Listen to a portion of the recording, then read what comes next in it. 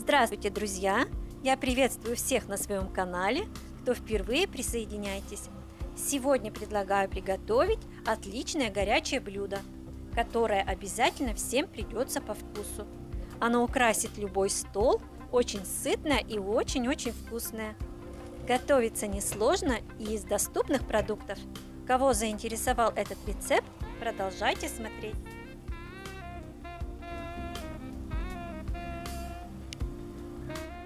Для приготовления нам понадобится говядина 700 грамм. Я уже нарезала ее на такие кусочки средние.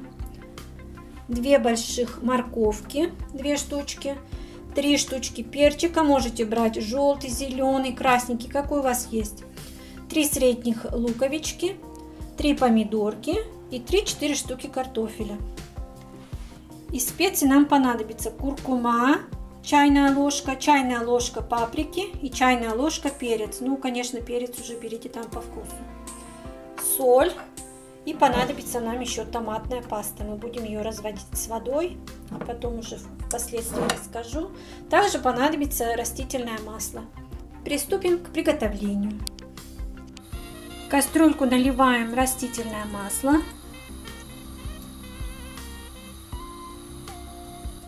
Раскаленное масло опускаем мясо.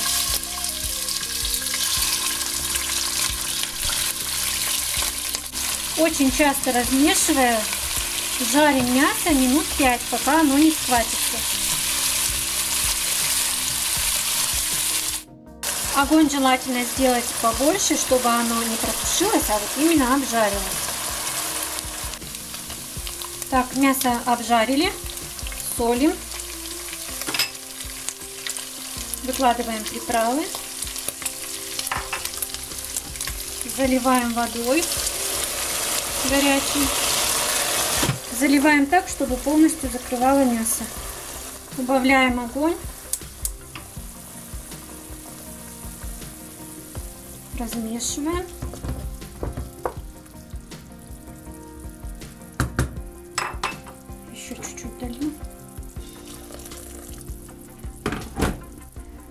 Накрываем крышкой и тушим полчаса на среднем огне.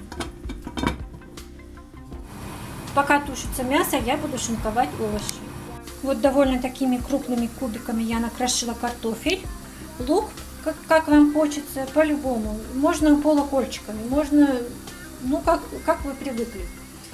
Морковку такими колечками, перчики тоже не очень мелко, ну и помидорки тоже вот так вот, как на салатик. Мясо протушилось. В первую очередь отправляем лук.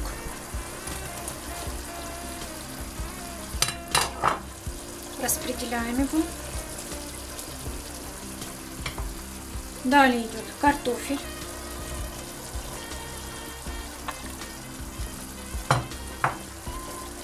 Картофель тоже нужно распределить. Потом идет морковка. Проделываем все то же самое. Ну и уже в конце болгарский перчик. И уже сверху помидоры.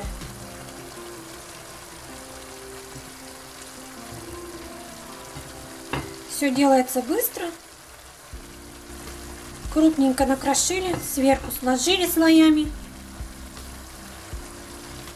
Далее берем столовую ложку томатной пасты, заливаем водой, полстаканчика где-то.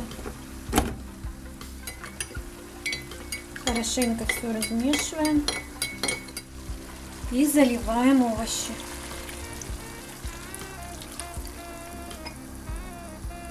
Посмотрите, сколько здесь жидкости. Жидкости есть, доливать не нужно. Не нужно, чтобы она закрывала овощи полностью, потому что овощи еще дадут свой сок.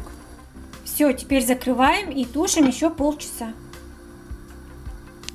Прошло минут 5. И посмотрите, вот сколько уже овощи дали свой сок. Сколько воды. Добавляю еще одну довольно большую ложку масла кхи. С ним получается очень-очень вкусно.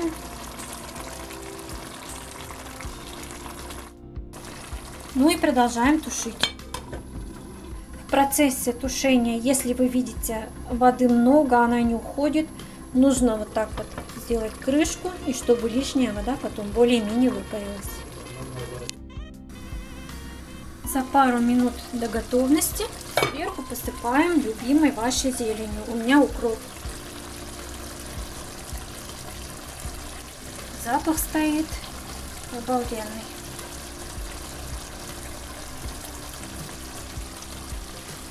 Накрываем крышкой.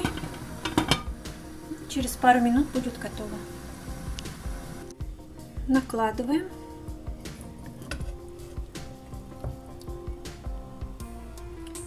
Картошечка приготовилась, все мягкое.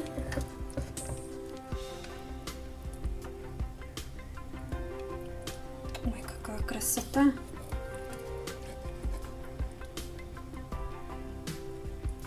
Обалденный вкус и аромат.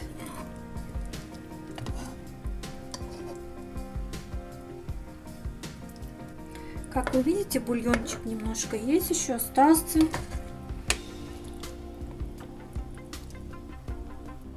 Вот такое получается мясо с овощами. Выглядит просто великолепно, очень эстетично, очень-очень вкусное, ароматное.